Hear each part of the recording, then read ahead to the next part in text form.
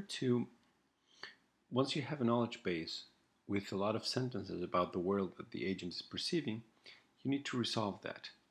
In order to resolve that, we're going to use logical equivalences among, among other rules to resolve these sentences.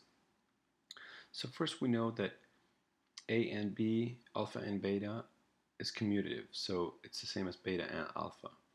We know a bunch of these rules, right? So there's a few rules. So for example, uh, some very important ones is, are that alpha, if alpha implies beta, that is equivalent to say not alpha implies not, uh, not beta implies not alpha.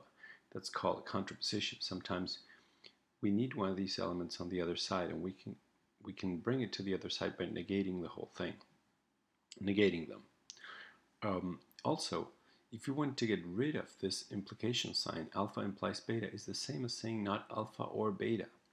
And now this is going to be very important later. We'll get rid of this implied sign and we'll have just ors. The double implication, the biconditional, right?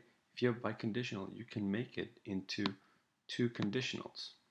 Alpha implies beta and beta implies alpha. That's biconditional elimination. And again, using this rule above, I mean, sorry, this rule above here, it is possible to get this expression into these two and each one of these into just an or and nots. Okay, so we'll see how it is possible to bring these expressions into just combinations of, of ors and ands and nots. Okay, now there's De Morgan laws. What happens if you have a negation of something and something else? Well, that becomes the negation of the first uh, literal or the negation of the second one. The same thing for the, the inverse is true. And there's distributivity also. What if you have alpha and two other variables, uh, one variable or another one? Well, you do alpha and the first or alpha and the second. Alpha and the first or alpha and the second.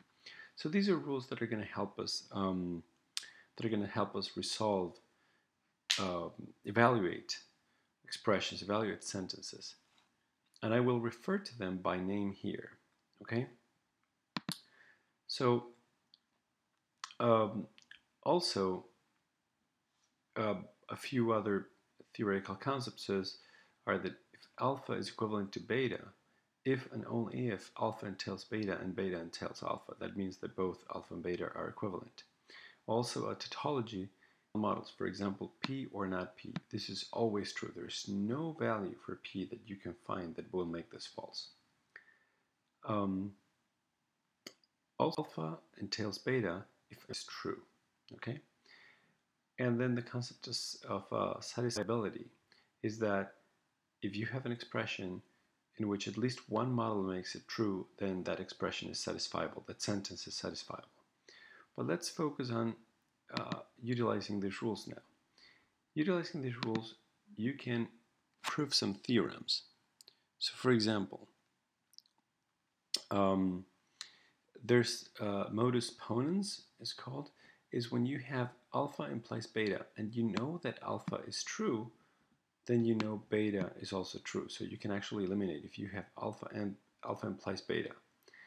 And you can reduce this to beta only if you know that alpha is true. Also, if you know that alpha and beta is true, then both have to be true. So you can just uh, reduce this expression just to simply alpha or simply beta. Okay, we're going to use some of these rules um, to evaluate a knowledge base. Another rule that these are also come from the rules that I showed you at the beginning. If alpha, if and only if beta, right? We can rewrite this as alpha implies beta and beta implies alpha. If we know that if we know that the above one is true, if we know that this is true, we can rewrite this as alpha uh, if and only if beta. So we have these rules and ways to simplify some of these rules.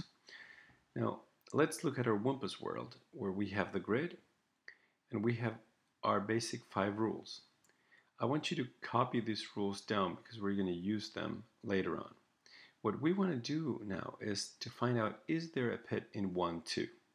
We do not know. is there a pit in 1, 2 here? Okay, we do not know. We're going to try and find it by uh, logic.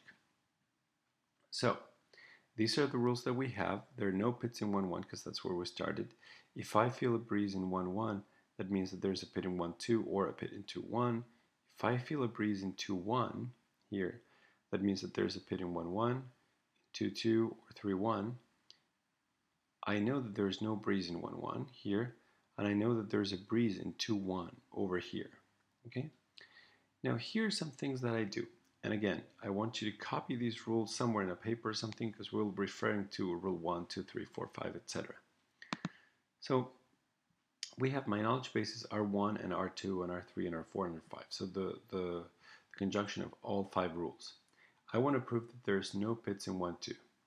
Okay, basically that not P1, 2 is true.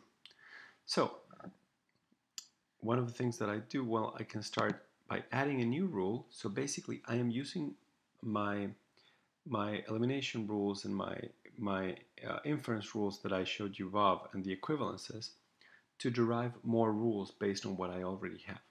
So if I use biconditional elimination on rule 2, okay, so basically get rid of a of an if and only if. So go back. Rule 2 has this if and only if. If I get rid of that using the biconditional elimination, which is this rule here, okay, this rule here.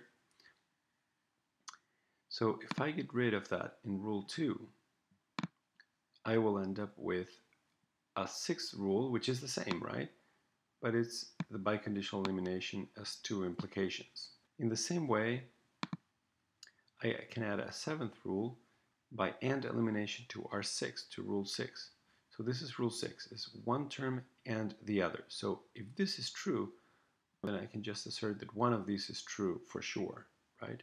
And I'll assert that this guy here is true. You can see we're adding rules. We're basically reducing and transforming some of the previous rules and adding them as new rules. And eventually, we'll run into something that will either prove or disprove this assertion. So let's continue. Now I add an eighth rule by contrapositives. Using this, right? The contrapositive says that you can put this term on the on the left hand side and this term on the right hand side as long as you negate both terms. So we create a rule 8 which is equivalent to rule 7 but is phrased differently. Then we create a rule 9 by modus ponens with rule 8 and rule 4. Right, so this is my rule 8.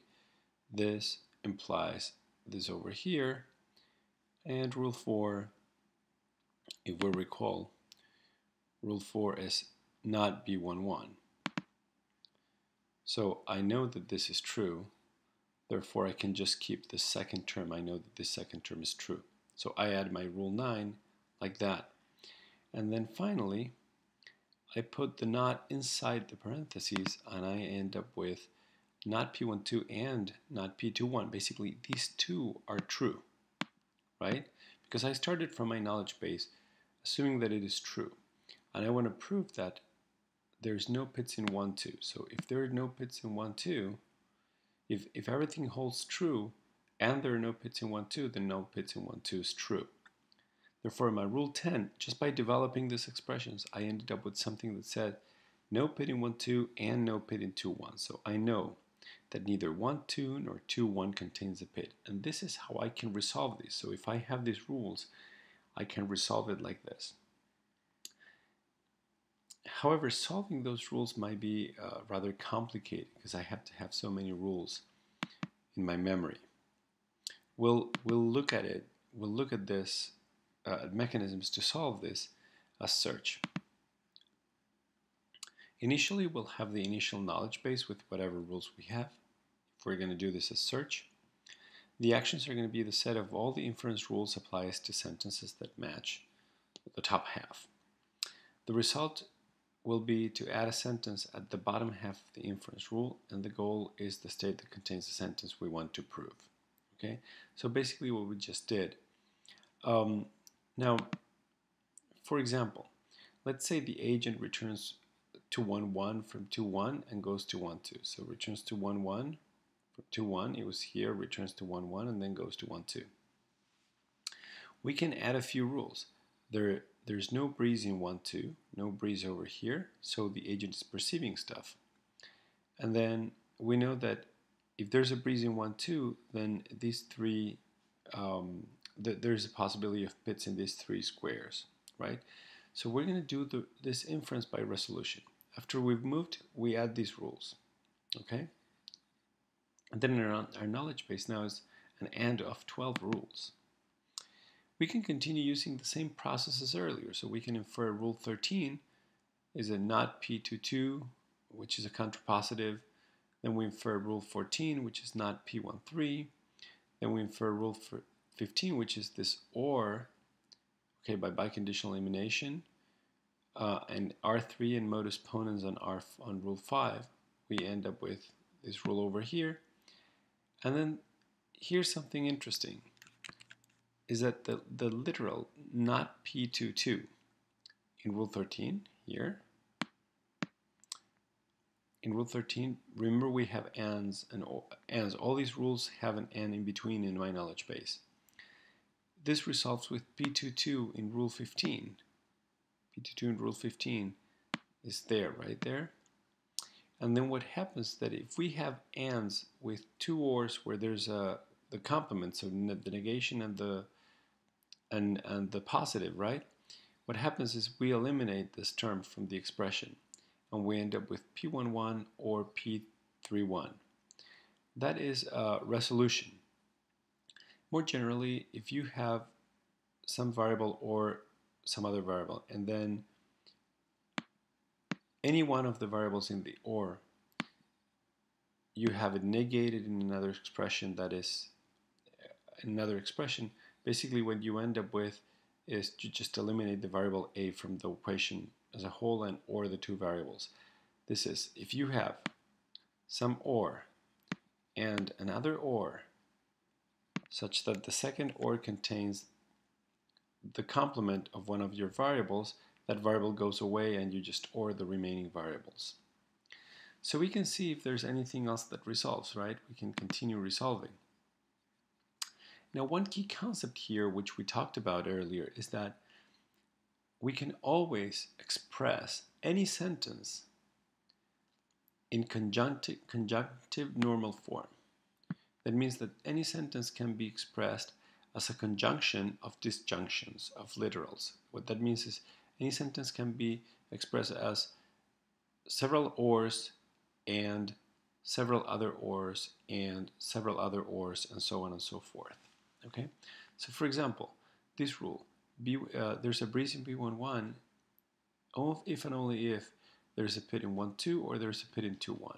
If we want to make that in conjunctive normal form, what we do is eliminate the double implication by replacing uh, by replacing it with, with the rule that eliminates it, and we end up with that. Now, we eliminate the implication by replacing it with the rule that says alpha implies B is the same as not A or B. These rules were given at the beginning of this video. So what then we end up with ors and ors over here, right? Now we have to resolve inside. So first the negation has to go inside the parentheses there, right? And this is the De Morgan law that I'm going to use, and that's the negation inside the parentheses. And now I have to distribute the or over the ends, and I end up with the following. I end up with this ors and this other ors and this other ors, and it is now in conjunctive normal form. Conjunctive normal form is a lot easier to deal with because you only have negations, ands, and ors, and those are operations that are easy to perform, and there are no major rules about it, just perform them. Um, so we're going to cover a couple of algorithms uh, that will use this resolution and will be based on using a proof by contradiction. Okay, one key concept of these algorithms, of this first algorithm, is that we, we remember we need to show that the knowledge base entails the query. And we will, we will do that by showing that the knowledge base and the negation of the query is not satisfiable. Basically, if you add the opposite of the query to the knowledge base, and that is not satisfiable, then it means that the query is actually true. We will apply resolution to this, uh, to the knowledge base and the negation of the query, right? So to all the rules of the knowledge base, we'll add the negation of the query in conjunctive normal form, and we will resolve the query. Okay, and that's going to be the topic of the next video.